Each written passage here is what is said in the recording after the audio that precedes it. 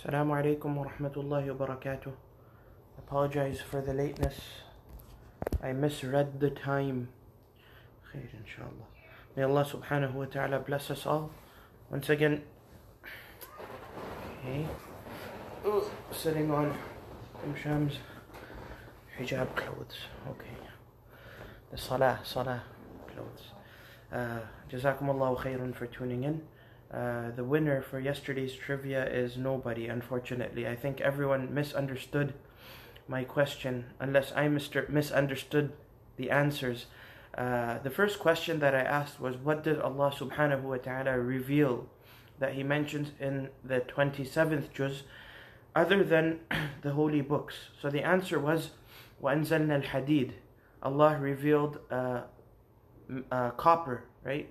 Allah revealed uh, is it copper? Hadid. Subhanallah. Fihi ba'sun shadid wa manafi'u linnas. There is much harm in it, but benefit for man- mankind as well. So, of course, nowadays you see people using copper or metal, I believe it's metal, for weapons and whatnot, and people use it for beneficial elements as well. So, this was the answer. Nobody got it, unfortunately, unless I misread. If I did misread, please text me and correct me. Jazakumullahu khairan. Okay, so today's reflection is from the 28th juz of the Holy Quran. The 28th juz is once again very unique, surrounding uh, aspects of adab, akhlaq, the Muslim character, how we should be with one another, how should a husband treat his wife, and vice versa. And this is what it starts with, right? Suratul Mujadila, right? Some people, or Mujadala. Suratul Mujadala, which talks about the Mujadila, right? Al Mujadala means a debate, an argument. Uh, this is talking about one of the companions of the Prophet sallallahu alaihi wasallam, the female companions who came to the Prophet sallallahu alaihi wasallam and complained with regards to the treatment of her husband. After she became a little bit old, her husband said, "Anti alayya ka ummi," right? You are to me like the back of my mother, meaning you are haram upon me. I don't need you anymore. And subhanAllah, this was uh, another way of sort of divorcing in Jahiliyyah. When a, a man did not want his wife anymore, he would equate her to what? The back of his mother. So Allah subhanahu wa ta'ala heard this complaint of this woman who came to the Prophet sallallahu alaihi wasallam. The narration makes mention, Aisha radiallahu anha says, a woman came in complaining to the Messenger sallallahu alaihi wasallam. I did not know what she was speaking about to the Messenger sallallahu alaihi wasallam, but Allah, the Almighty, heard her message and He revealed this entire surah, right? Supporting the complaint, supporting the plead of this woman who came to the Prophet sallallahu alaihi wasallam, and uh, telling men in turn who do this you know, equate the backs of their wives because they've become old or the men have lost interest in their wives now, telling them not to do that, right? It is grave in the sight of Allah subhanahu wa ta'ala. And Allah mentions, uh, you know, Allah answers this uh, matter very logically. He says, In ummahatuhum illa la'i waladnahum. How can you equate the backs or, or your wives to the backs of your mothers? Your mothers are the ones who gave you birth. Your wives are the ones who you happily married, you know, for the sake of living a beautiful life with portions of intimacy, compassion, and other good bits. Why are you now equating your wives with your mothers? Just because you don't want them anymore. If you don't want them anymore, subhanAllah, you know, as I say, if you have troubles in your marriage, get counseling. Sometimes through counseling, you can evade the negativities that are being born in marriage. And uh, you can as well approach other matters which will inshallah bless you and your families. Subhanallah, Allah mentions a beautiful ayah which I was reflecting upon in Surah Al-Hashr, right? Which we recite from time to time in salah, but we just sort of skim over without glancing. Allah says with regards to the Quran, how powerful is this book?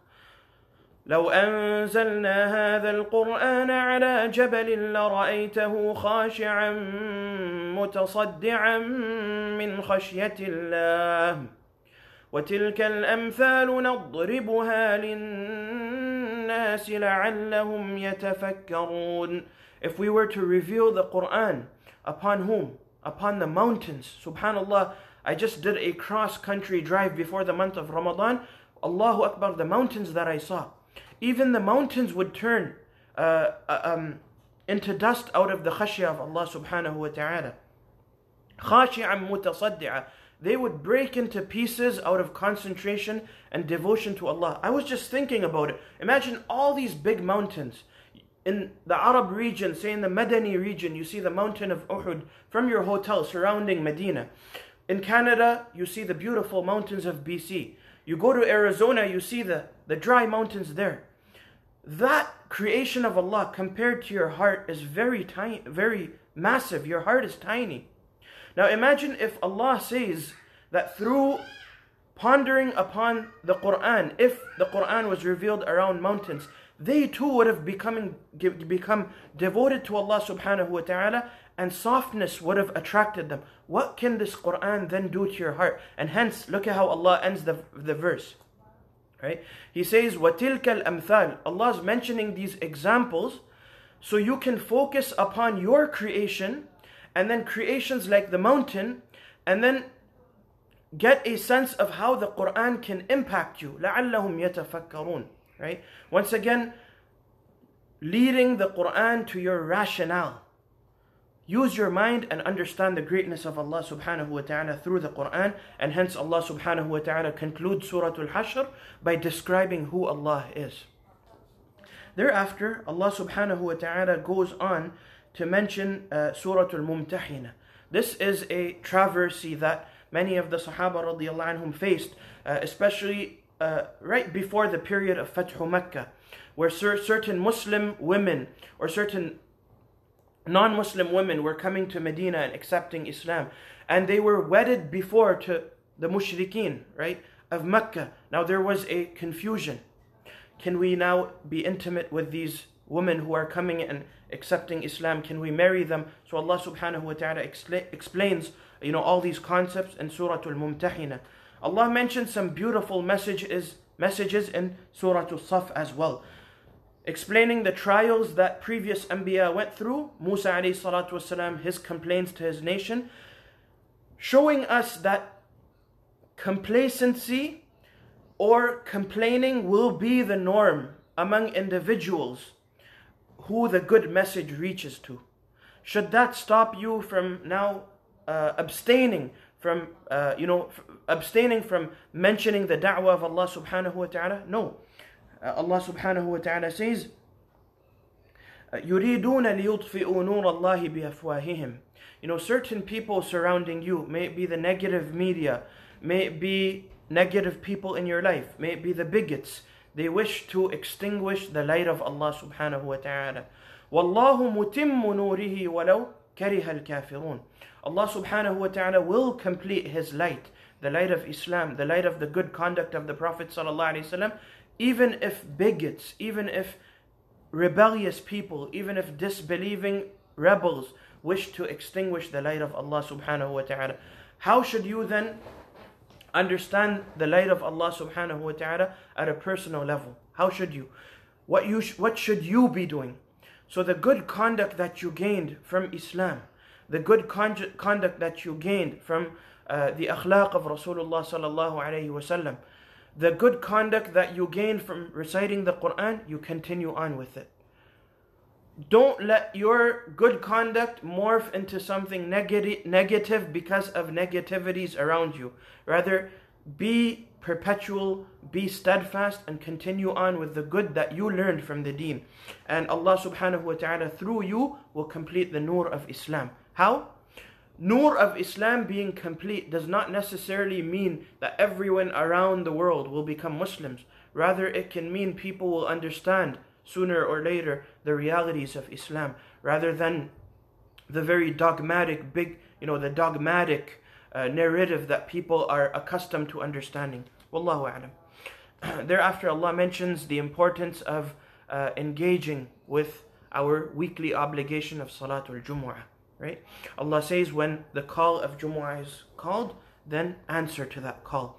And hence, it should be uh, upon every Muslim to try and at least go to the masjid for the Jumu'ah prayer on a normal circumstance, right? Under a normal circumstance. Right now, the masajid are closed, but I'm speaking under normal circumstances. Uh, Allah then goes on to speaking about the munafiqun in Surah Al-Munafiqun. Among their qualities is once again plotting and mocking the Messenger sallallahu alaihi wasallam, mocking those who wish to genuinely believe in a very secretive manner, right? They secretly say to one another, هم الذين يقولون لا تنفقوا على من عند رسول الله حتى ينفضوا ولله خزائن السماوات والأرض ولكن المنافقين لا يفقهون لا يفقهون This goes back to charity. They say to one another, don't spend upon these people following Rasulullah sallallahu alaihi wasallam and don't facilitate for them. Allah says, you know what? If wealth was only in your hands, then you could have said something like this. But Allah subhanahu wa ta'ala has the treasures of the heavens and the earth. But unfortunately, those who are hypocrites, they have a veil in front of their minds and in front of their eyes, hence they can't understand the reality of the treasures of Allah subhanahu wa ta'ala, which He bestows upon the genuine believers. Um, Allah subhanahu wa ta'ala also gives us a very relevant message in Surah Al Munafiqun. He says, Don't let appearances deceive you. Don't let appearances deceive you.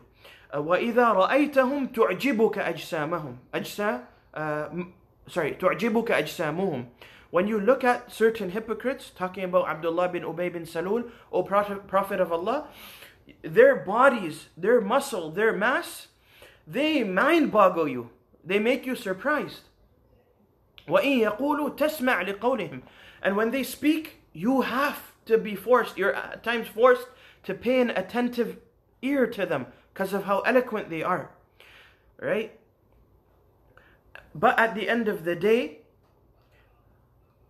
body, mass, speech, eloquence, you know, you flowing in speech, that is irrelevant when it comes to your sincerity to Allah subhanahu wa ta'ala. If you're not sincere, then no matter how strong, beautiful, handsome, eloquent you are, all that is a waste. Why? Because when such people were told by the Sahaba radiallahu anhum, right? Or by the believers in their time, تعالوا, come. يستغفر لكم رسول الله. Despite your eloquence, despite your beauty, you need, uh, you need, um, subhanallah, Sheikh Saad would have said something very funny right now. I'm not going to mention it. Uh, um, so, despite your eloquence, despite your beauty, you need the forgiveness of Rasulullah sallallahu alaihi wasallam. So come, gain that forgiveness of Rasulullah sallallahu alaihi wasallam and and be saved in the hereafter. What would they do? They would shake their heads, right? And hence we, subhanallah, a, a good message for us sometimes uh, when, when we're having a good day, when we're dressing very well, on the day of Eid, mashallah, a lot of us will engage in beautifying ourselves. May it be the sisters with their makeup, or the brothers with their nice tuxedos, or their, um, you know, for our Pathan brothers, our Pakhtun brothers, the shalwar qamis, or for the Arab brothers, their nice thobe, and their and then their ghutra. Don't let your deceptions, you don't let your uh, physical appearance deceive you from the reality what you're uh, the reality of what you're trying to gain, which is the love of Allah subhanahu wa ta'ala and His Rasul sallallahu alayhi wasallam, and uh, trying your best to be the, a good Samaritan and a good Muslim at the end of the day. Allah subhanahu wa ta'ala, uh, many lessons, subhanallah, but we've ran out of time. Okay, let us proceed towards our trivia, but before that, take these last few moments of the month of Ramadan seriously, make the best of them and reap from the mercy of Allah subhanahu wa ta'ala before this month ends. So uh, the you know Laylatul Eid and Yawmul Eid, the night of Eid and the day of Eid, uh, you will be among those who truly deserve this celebration because of you making the most out of these remaining moments. We ask Allah subhanahu wa ta'ala, like always, to make these last moments uh, of the month of Ramadan a great blessing for us. We ask Allah subhanahu wa ta'ala to make them such an energizer battery for our faith that we need to know we not we know we need not to recharge our batteries of faith ever again inshallah. Let us make this such a stepping stone which will make keep us flying in the air right? Okay i'm just losing it now. Jazakumullahu khairan. Okay so today's trivia is um, who does allah subhanahu wa ta'ala speak about towards the end of surah at-tahrim and mention the contrast between the two people okay which two people do allah subhanahu wa ta'ala speak about towards the end of surah at-tahrim and explain the contrast in between them, the difference in between them. Okay. Uh, what is the bold message that Allah subhanahu wa ta'ala gives uh, in Surah At-Tahrim to certain companions? Let me just put it that way. And what is our what is Allah's advice towards us as believers uh, in Surah At-Tahrim? Mention at least one of them. Jazakumullahu khairan. Uh, apologies for the flippy, flippy, floppy message towards the end. But inshallah, you got it. Uh, be inspired towards the Quran. You understood the message. Be inspired towards the with with the Quran. Uh, reflect once again. Reflect, recite, and practice. Wassalamu alaikum wa rahmatullah.